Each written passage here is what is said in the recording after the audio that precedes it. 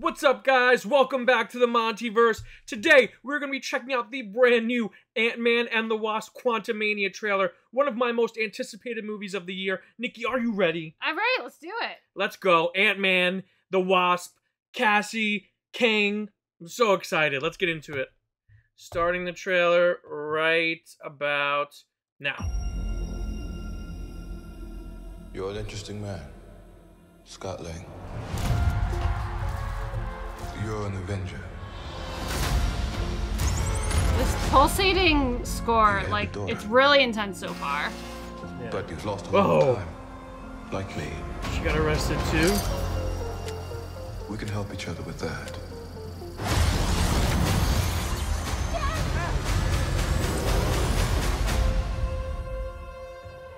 Who are you? I'm the man who can give you the one thing you want. What's that? Time. Yes. Let's go, baby. It can rewrite existence and shatter timelines. You cannot trust him. I don't care who this guy is. Oh, I MODOK. just lost so much. MODOK. He can give us a second chance.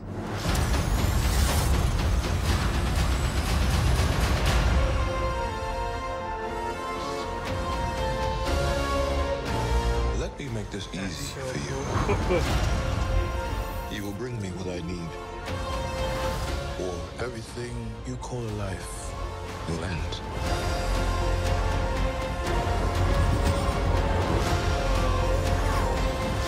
Love that tagline. You may not want her to watch this. We had a deal. Rock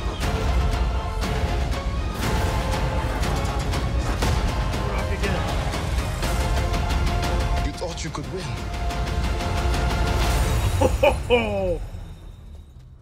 I don't have to win.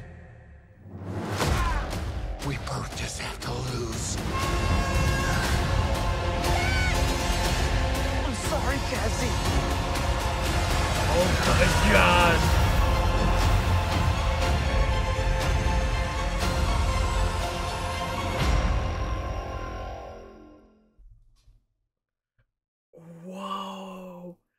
That that was crazy. That's insane. That that was very intense. Like so good.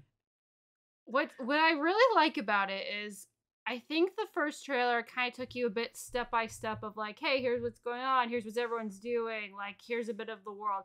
This like had like the tone, the vibe, and like a little bit more of the plot and like the character motivations, but like and like it was a bit simpler, but it was also like s- like in so intense at the same time. Yeah, it's it's so I have chills. I have goosebumps. Like Yeah. that was like Jonathan Majors Oh yeah. is terrifying as Kang in this trailer. yeah. We didn't really get much of him in that first trailer. I mean, we've seen him as he who remains in Loki, yeah. but this is Kang, baby. This is full on Kang the Conqueror. I'm go I'm here. This is what I'm here to do. And did not disappoint at all. He's absolutely terrifying. Yeah. What I really love is that this movie, like some people were complaining that the first trailer didn't really feel like an Ant-Man movie, but I think it did. And I think what this trailer really solidifies is that the core to me of all the Ant-Man movies is Scott and his relationship to the people around him. Scott, but mainly his relationship to Cassie. Yeah. And this hammers that in 100%. Like, he is only doing this because to help Cassie, because Kang kidnaps Cassie and he wants the time back that he lost with his daughter. He lost five years of time with his daughter, and he's not an absentee father. He's a good father, Mhm. and that bothers him.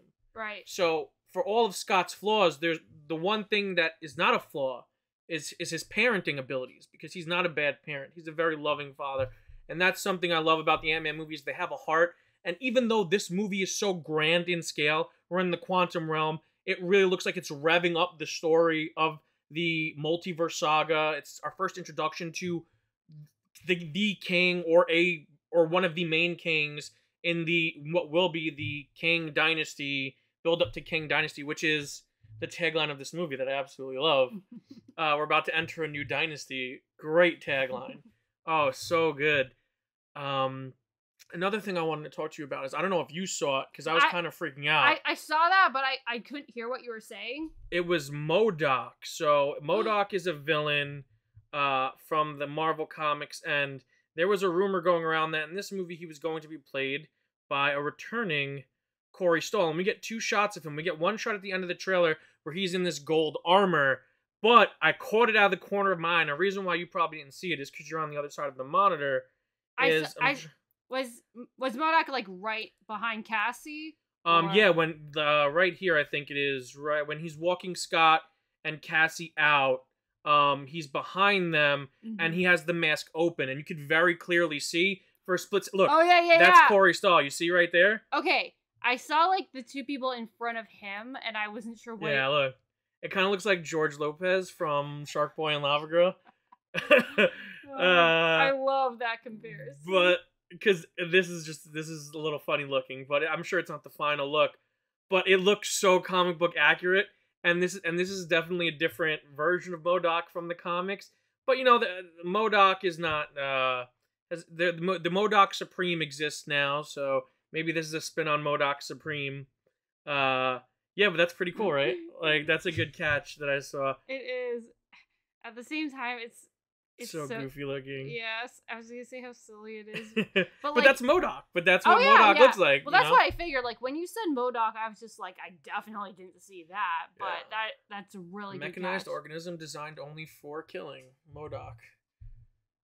That's that's a good memory. Yeah, you know, um and then we have Cassie obviously. Cassie is looks to be a part of the action in this one. Yeah, which she Uh, was in the first one. To be Yeah, fair. I mean, last trailer we talked a little bit how the suit r- is purple and it's Mhm. definitely rem- more reminiscent of her Stinger suit in the comics than her Stature suit. Stinger is the identity she takes later on in her career, Stature being the first identity, but that purple is pretty synonymous and it's almost identical in appearance to her Stinger look, her Stinger outfit in the comics. That's pretty cool. Another thing I liked, which has nothing to do with the comics, but I love it because it's going to be such a meme when this movie comes out, is did you see like the army of Ant-Men yes, that were like ants? They were like yeah. I think I did. I think I was like a little more distracted when Scott was literally unraveling. Yeah. I- Is, that the? s- Yeah, like look, these are all Ant Man. okay. Like you see them running with him. Like you'll s- it, like there's a, there's a portion of the trailer where he's running with like an army of like see look oh God. like they're all Ant Man over there. that just gives me flashbacks to Ralph breaks the internet. But it but this is But you considerably less know creepy. Why it's so funny? Because they're like ants. So instead of this one, he has instead of an army of ants helping him, because An it's like army of him. it's like, oh, where are you gonna get ants in the quantum realm? He's gonna get Ant Man. He's gonna be an army of Ant Man, and I'm so excited for it. Let's go, baby! That's such a silly idea that I love. I don't know why I love it so much. I was gonna say I love that you love it as much as you I do. saw it and I'm like, and I was immediately all in.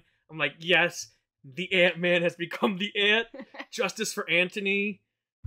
That was one of the hardest hitting deaths in the MCU. R.I.P. That, Anthony. That's, that is actually true. that was rough. That one hit me rough. So he's gonna get justice for Anthony by becoming an ant, and I'm here for it 100. percent Another one thing that's there, we got a little Janet in this trailer because I Yeah. feel like Janet's definitely gonna help move the plot of this movie. Mhm. Not a lot of hope. I mean, not not the I was gonna the say personification I- of hope, but the character I was gonna say like everything we saw of her is like it felt just super reminiscent of the first trailer. Where, Yeah. Like she already and she already wasn't that big in the first trailer. Yeah, I, I really think Scott has to be a main focus. I think I think there's going to be really. I think they're going to do a Star Wars, uh, an Empire Strikes Back type of thing where there's two main plots. Right, because like they're clearly showing that Hope is like with her parents. Yeah. At some point, away from Cassie and Scott. So maybe Yeah. they're doing their own thing because Janet obviously has the familiarity with everything and is guiding them. So I, I think I'm on the same page as you with Yeah, that. you're 100% on the same page. That's exactly what I was thinking. You nailed it. Um I think we're going to get two fa- two congruent, two parallel family storylines. We're going to get Scott and Cassie, which I really am excited Right, for. Because you want to talk about making up for lost time. How about Janet? Hello. Exact bingo. You like you literally just took the words out of my mouth because in I was gonna say the the parallel to that is Janet. She lost all, all like Decades. decades with her husband and her daughter, and Hope. Hope has all of that baggage that we know from the first movie about about her mother not being there. It really damaged the relationship between her and Hank uh, Right. in, the movies. you know, and they came together. Now seeing them come together with Janet, that's something that we need that we really didn't get a lot of in Ant Man and the Wasp because Janet was only in the movie for like five minutes, Yeah. if that much. So I really want to see them focus on those. As long as we get that and it comes together in this big, really cool fight that it looks like it's going to happen. Right. And that's um, I'm what- at the end. And that's what's interesting is like obviously this is a greater scale movie and like everything's crazy. Kang has the the insane unlimited power he has. At the same time, like he was just personally being the shit out of Scott. Yeah. And that and like that got to me more than I thought it would have. That was terrifying. Like, first of all, Jonathan Majors is intimidating. He's an intimidating looking dude. He's uh, especially in that Creed trailer, that Creed 3 trailer, he is jacked. And and to see Kang and all of his power, and we haven't even seen anything yet because we don't even know what is the circumstances of this movie. I doubt Scott by himself was able to damage Kang's armor that much or, or Kang's clothing. yeah, yeah. So I would love to see just the kind of damage that Kang wreaks before to get him to that point of anger. And also, I think the powerful line of "I don't have to win, but we both have to. We just both have to lose." Like that. That's intense, and like I, ho- intense. I hope they do something like interesting with that. It's almost like they're trying to like imply that Scott dies, but you're not gonna fool me. This is a red herring. I, I just hope it's something like I just hope it's a really good payoff, whatever it is. Yeah, and I think there, there's a lot of cool like we could dissect this whole trailer line by line because there's so many important lines in this trailer, like Janet giving the voiceover of Kang and then Kang talking to Scott. Yeah. She she implies that Kang can erase timelines and Yeah. he can change existence. And so Janet knows just how powerful Kang is. I want to know how Kang got trapped in the quantum realm. Is he trapped? Yeah. Or is he just building a base there? Like, why does he need Scott? These are all like this trailer showed us a lot, and we know we know the broad strokes. We don't know Yeah. any of the crazy plot driving details of this movie. Right, but that's what, like I said earlier, I think that was the nice thing about this trailer is it gave us a little more than the last one in terms of we didn't really know exactly what Kang's motivation was, and like we have, we don't know the specifics, but like you could just feel it, like again, Yeah. just like the vibe that they're giving, and just the the intensity of all of it. Like you, you know, whatever it is, like the stakes are big. Yeah, it's it, it feels big. This is the usually the Ant Man movies are small. They're palate cleansers. People always used to call them the palate cleansers of the MCU.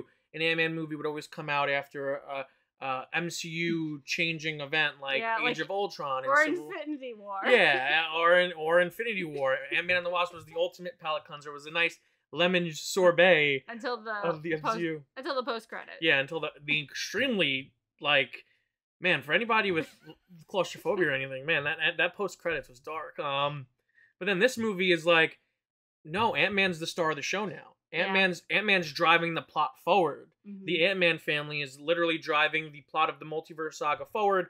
And I think without your Tony Starks and without your Captain Americas, you uh, Hank feels like the guy, and and the Ant Man family feels like the family to kind of drive that scientific plot forward. Mhm. Um, so yeah, I'm I'm really excited. I'm so excited. I could really scrub through this thing and, and for any minute details, but I'm very impressed with myself for all the things that I did catch.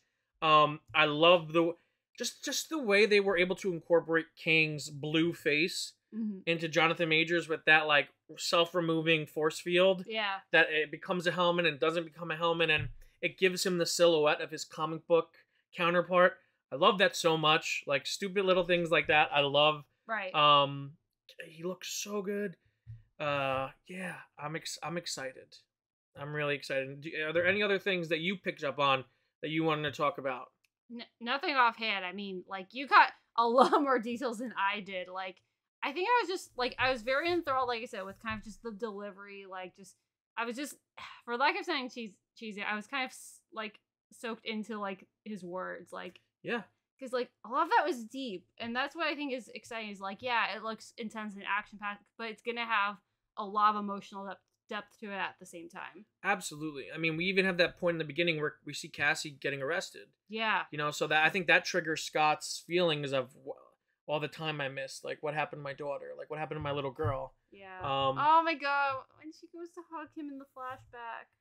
Oh man, this is gonna be a tearjerker, Back when- jerker, po- folks. Back when she had her first actress. Yes, two actresses ago, back when she, she hugged him so hard, she changed actresses twice, and that's the plot of this movie. We have to get the old actresses back. Let's get Abby. At, ah. the It's gonna be like No Way Home. The, the other two actresses are gonna come flying in on ants. They're gonna be like, "We're here." I mean, that would actually be pretty dope. That would be hilarious. But I think that's gonna do it for us. If you like the video, make sure to give it a huge thumbs up. If you're new to the channel, subscribe and the notification bell to stay up to date on all of our latest content because we have tons of cool videos coming out just like this one. Nicki, where can the people find you? You can find me at Twitter at EdlordNikki. And you guys can find me here at the Montyverse on all of the socials at the Montyverse. And until next time, guys, stay versed.